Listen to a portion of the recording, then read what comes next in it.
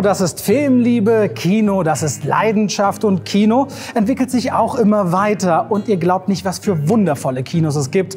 Wir befinden uns heute hier in und um Zürich, um euch drei Kinos zu porträtieren, wo man sich denkt, wow, das kann Kino auch. Sie sind teilweise unglaublich luxuriös, technisch aversiert und toll in die Kultur eingebunden und genau das schauen wir uns heute an.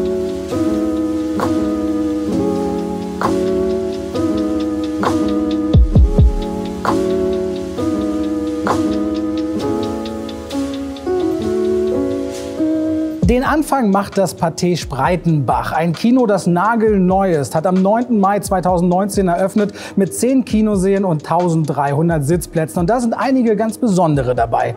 Aber erst einmal Pathé, das steht schon für Filmliebe seit über 100 Jahren. Vier Brüder, die im späten 19. Jahrhundert schon Filmverrückte waren, sich für Lichtspielhäuser interessierten, heute eine große Filmproduktionsfirma ist, aber auch verschiedenste Kinos rund um den Erdball besitzen. Immer noch ist es ein Familienunternehmen und verdammt ist dieses Kino hier luxuriös. Denn unter diesen zehn Kinos befindet sich ein Kino für Kinder, das von Kindern konzipiert wurde. Eine VIP-Lounge mit einem ganz besonderen VIP-Kino, ein toller IMAX-Saal und eines von sehr wenigen weltweiten und in Europa gibt es nur zwei davon, Bettenkinos. Das zweite steht in Marseille, gehört ebenfalls zu Pathé.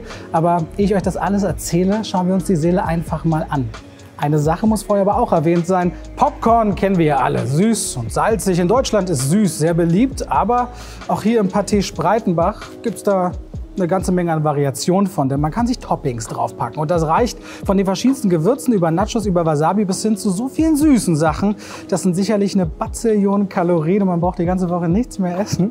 Aber sicherlich erhöht das auf eine gewisse Art und Weise das Kinoerlebnis.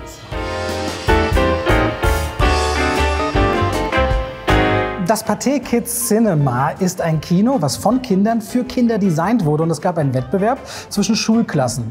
Zwei Gruppen haben gewonnen, durften dieses Kino hier gestalten, so wie Kinder sich das vorstellen. Und hier sieht man auch die Handabdrücke derjenigen, die dieses Kino gemacht haben. Eine richtig süße Idee und da gucken wir jetzt rein.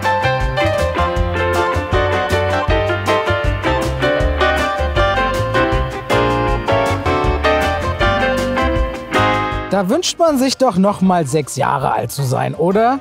Was für eine süße Idee. Die Kinder haben überall Sitzsäcke und keine festen Plätze, können die überall hinpacken auf der Leinwand, den Film sehen, worauf sie dann natürlich Lust haben und können dabei in diesem Bällebad rumspielen, rumtollen und sollen einfach spielerisch Filmliebe erfahren. Und ohne Witz, da drüben ist sogar eine Rutsche. Das ist eine schöne Idee und fasziniert mich irgendwie. Richtig süße Sache.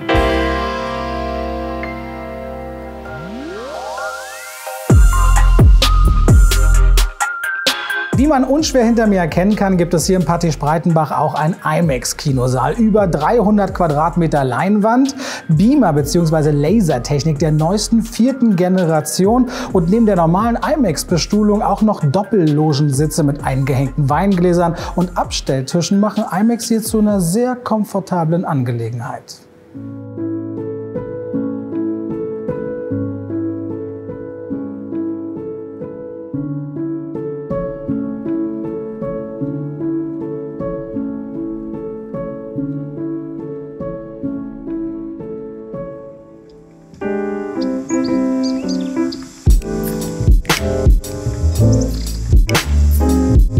Das hier ist die VIP-Lounge mit angeschlossenem, sehr gemütlichen Kino. Für ein VIP-Ticket darf man sich hier nach Herzenslust bedienen. Ob Nachos, Popcorn, Nüsse, Eis oder Softdrinks, so viel man will. Mitten im Film aufstehen, sich nochmal nachholen, das geht.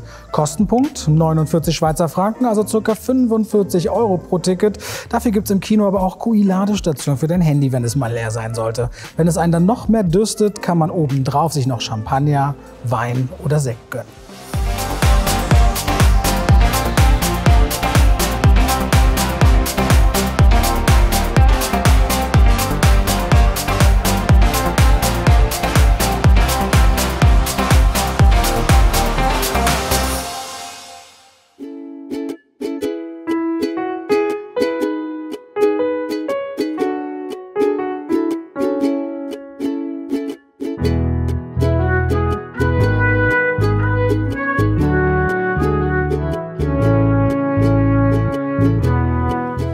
Glaubst, du hast schon alles gesehen, dann entdeckst du ein Bettenkino, eines von zwei in Europa. Hier gibt es elf Doppelbetten inklusive Hausschuhe, Weingläser im VIP-Ticket, alles mit drin. Kann man ganz genüsslich liegen und einen Film schauen. Ich glaube aber nicht, dass man deswegen dabei einschläft, sondern sehr entspannt Kino genießen kann.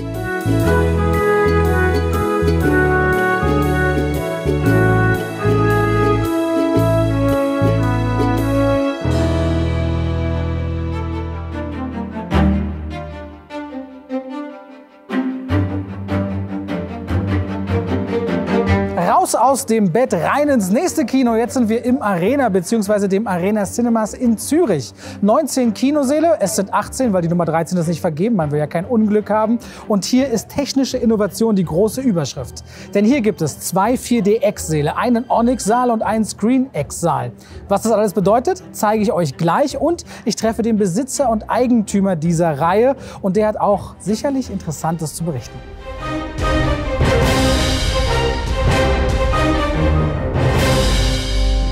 Das hier ist ein Onyx-Kinosaal. Das heißt, was ihr normalerweise vom Kino kennt, dass ein Beamer eine Leinwand anstrahlt, ist das hier ein kompletter großer LED-Screen.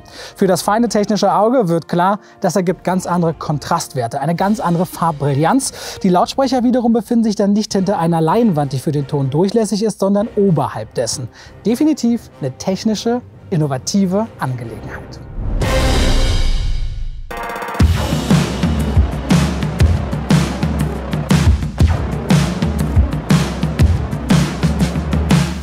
Das hier ist eines von zwei 4DX-Kinos hier im Arena Cinemas in Zürich. Das bedeutet, die Sitze, wie ihr seht, bewegen sich mit, mit dem, was man sieht. Das heißt, bei temporeichen Fahrten wird man von hinten nach vorne hin und her geworfen, Wind wird eingespielt, Lichteffekte. Man kann Nebel simulieren mit Seifenblasen. Es gibt Schnee, es gibt Regen. Also wird das alles auch ein bisschen feuchter und windig hier drin im Saal. Das ist Action-Kino pur und ein Level, was dich nochmal ganz anders reinziehen soll.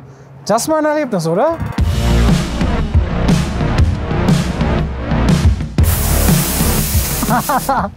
Leute, das ist echt abgefahren. Eine Sache noch. Hier werden noch zusätzlich Gerüche reingeworfen in den Saal. Du riechst also auch Dinge, die in der Umgebung passieren, neben der Bewegung und all dieser Luftfeuchtigkeit. Voll shaky, aber total super.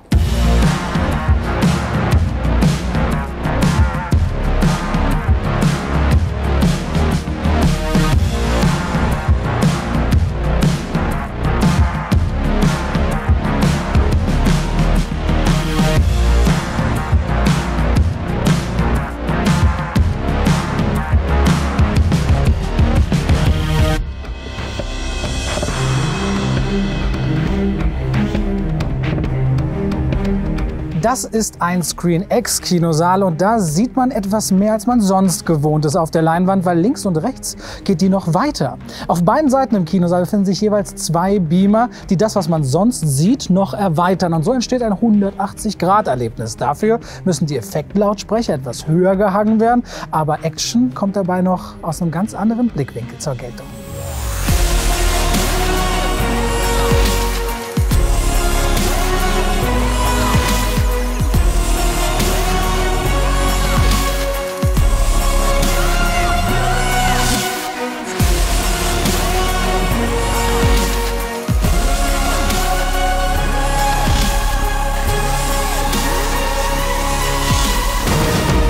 Mir steht Herr Stöckli oder wie ich sagen darf, Edi, weil er nennt mich Locke. Er ist quasi oder du bist der Erfinder, Eigentümer, Besitzer von Arena Cinemas, ist das richtig?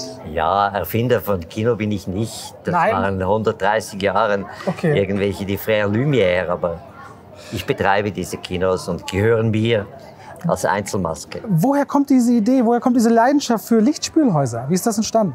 Ich bin Filmhändler gewesen, Händler der vier Jahreszeiten. Weißt du, ich habe Filme verkauft für Kino, Fernsehen und so weiter all die Jahre. Und früher hatte ich einen Filmclub in dieser Stadt. Äh, In den 60er Jahren war ich Erfinder eines Filmclubs. Der ging um Mitternacht auf. Wenn die Kinos schlossen, habe ich meine Filme gezeigt. Underground-Filme, Andy Warhol und was weiß ich was. Und die Leute haben Joints geraucht und das war ein Riesenfest. Und dann haben die mich, weil das Kino war immer bumsvoll und am Tag war das Kino leer, dann haben die mich äh, rausgeschmissen, weil die waren eifersüchtig.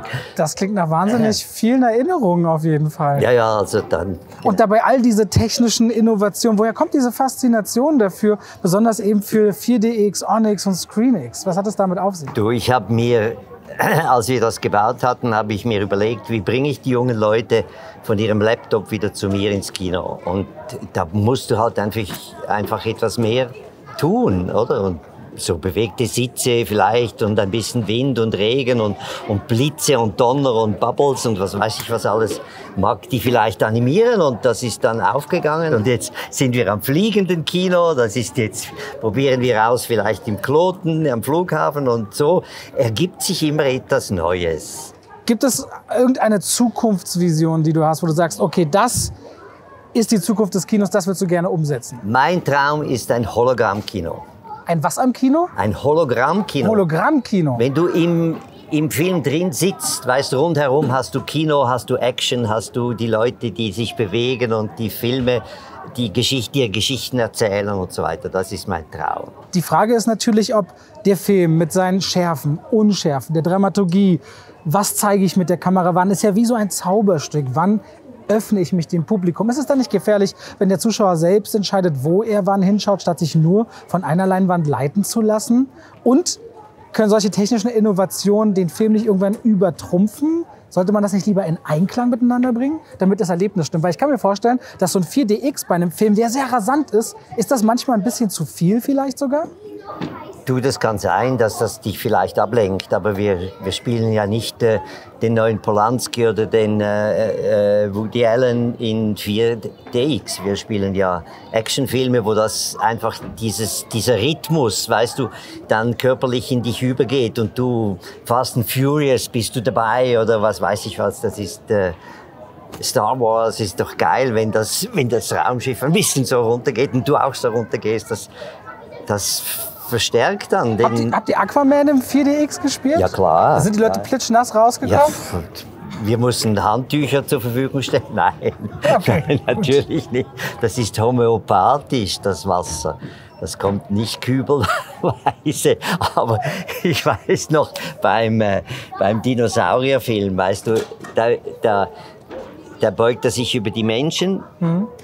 und da läuft ihm ein Speichel aus dem Mund und du hast dann plötzlich den Tropfen auf dem Kopf. Und da schauen die Leute natürlich instinktiv hoch. Das war Jurassic Park. Jurassic World 2 ja. wahrscheinlich. Eine Sache frage ich mich natürlich, wenn ich all das hier sehe und ich natürlich Filme liebe als Deutscher, warum haben wir das alles nicht? Wir kriegen jetzt in Berlin eine erste Screen X-Wand. Es gibt die ein oder andere Onyx-Wand. 4DX glaube ich noch gar nicht in Deutschland. Da wird aber gerade dran gebaut. Und hier ist alles in einem Kino. Kannst du nicht vielleicht nach Deutschland kommen und das bei uns auch machen? Ich hätte das gerne. Warum muss ich nach Zürich dafür kommen? Ja, aber ihr kommt jetzt, ihr kommt schon. Weißt du, in Deutschland, ihr seid, ihr habt eine andere Tradition und das sind die, das bewegt sich nicht so schnell. Wir sind, wir müssen agil sein, sonst überleben wir nicht, oder? Mhm. Ihr seid eine starke Nation und viel Innovation und was ihr macht, das ist, ist bodenständig und meistens sehr gut und stabil und darum braucht es eine gewisse Zeit, bis das sich dann auch in Deutschland durchsetzt. Wenn und die Schweizer im Deutschen sagen, dass man langsam ist, ne? dann läuft irgendwas schief. Also, danke fürs Zeitnehmen. Viel Erfolg. Ich hoffe, dass, äh, dass hier weiter so erfolgreich läuft. Danke. Sehr gerne. Tschüss. Mach's gut.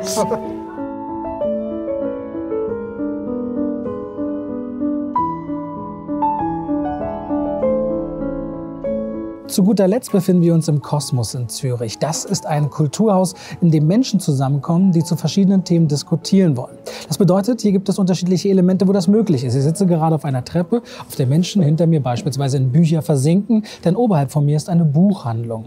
Hier gibt es Räume, wo man Bühnen aufbauen kann für Podiumsdiskussionen, Rückzugsorte inklusive Piano und im unteren Bereich eben auch ein Kino, was das Kino im Kosmos ist. Das unterstützt Filmfestivals und organisiert eben immer verschiedenste Diskussionen und das ist bei Film eben ein großes Thema, denn viele wichtige Filme berühren uns, haben Inhalte, über die wollen wir reden und da ist eine solche kulturelle Einbindung in ein Haus wie hier genau das Richtige.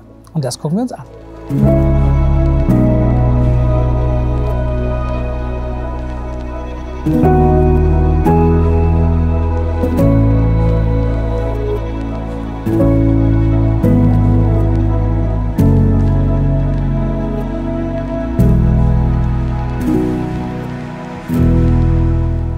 Dieses Arbeiten mit viel Beton.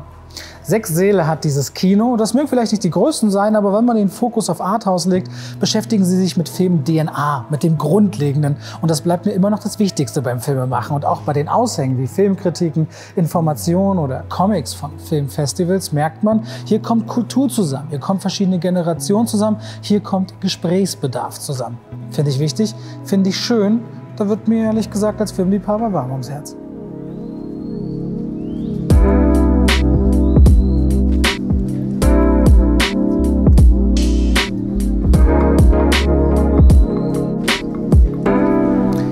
Läuft, bitte nicht eintreten, steht da. Natürlich ist es für ein Kino gut, wenn jeder Saal bespielt wird und Menschen in den Film sitzen. Deswegen können wir aber gerade in keinen Saal rein, um ihn uns anzuschauen. Trotzdem wollte ich noch erwähnen, dass zuletzt das Human Rights Film Festival hier war. Auch das Zürich Film Festival kommt hier regelmäßig her. Im ganzen Haus beispielsweise auch das Zürich Philosophie Festival. Ihr merkt also viele, viele Themen. Und wenn man beispielsweise eine Buchverfilmung hat, kann man die auf der einen Seite im Kino zeigen, mit den Leuten dann weiter in die Buchhandlung gehen, wo meinetwegen der Autor ist, das Buch vorstellen, Lesungen machen, darüber diskutieren und das Ganze an der Bahn im Abend ausklingen lassen. Und das ist das Konzept hier. Und das gefällt mir.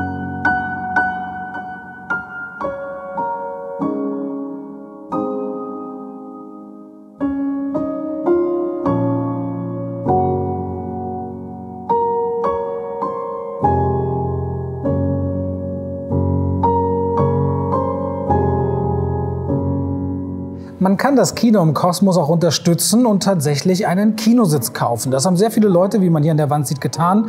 Aber es gibt auch noch ein paar freie Plätze und das zeigt nochmal diesen Gemeinschaftsgedanken.